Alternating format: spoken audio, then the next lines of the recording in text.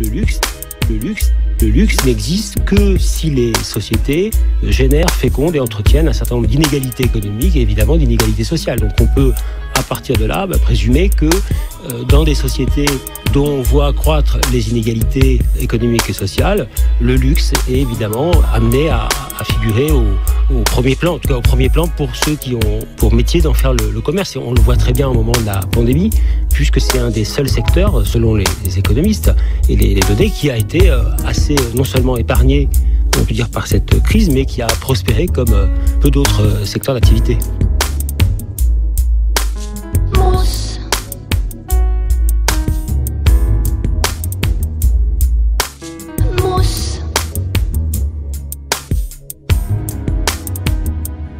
Il y a une chose, euh, d'ailleurs, pour aller dans le sens des Américains, ils m'ont prédit qu'il y aura les queues devant les banques russes le lendemain des sanctions. Il n'y avait pas de queue, il y avait un million de comptes euh, dans les banques chinoises qui s'ouvrent par jour en Russie. Et dès que l'enseigne française part, il y a les Turcs, les Chinois, euh, il n'y a pas de Chanel, il y a les faux Chanel. ça, ça, se passe comme ça. Il y a beaucoup de gens en Russie qui sont pour les sanctions.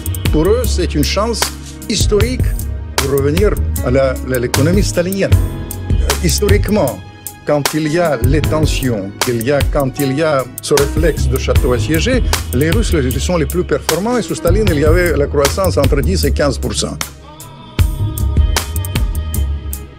Il y a un papier extraordinaire de Wall Street Journal, justement. Imaginez-vous que le gaz russe qui est vendu aux Européens actuellement, 30% de ce gaz russe passe par l'Ukraine. Les gazoducs n'ont jamais été fermés. Le robinet n'a jamais été fermé ni par les Russes ni par les Ukrainiens. C'est-à-dire que 30% du gaz russe consommé en Europe finance l'effort de guerre russe et le budget ukrainien, puisque les Russes reversent des royalties aux Ukrainiens et qu'il n'est pas question ni pour l'un ni pour l'autre. Tout ça perdure. Et ça perdure en ce moment. Ah d'accord. Ça mousse, mousse, comme de la soie. Le gros problème de la compagnie nationale ukrainienne qu'ils appellent Naftogaz, qui dessert 12 millions de foyers, c'est qu'il y en a 300 000 qui ne peuvent plus être desservis parce que, euh, évidemment, l'immeuble a été éventré ou la canalisation, elle, voilà, hein, et ça risque de provoquer des explosions. Mais les artilleurs font très attention, visiblement, à ne pas toucher les, gazoducs. Et donc, business as usual. Business. As usual. As usual.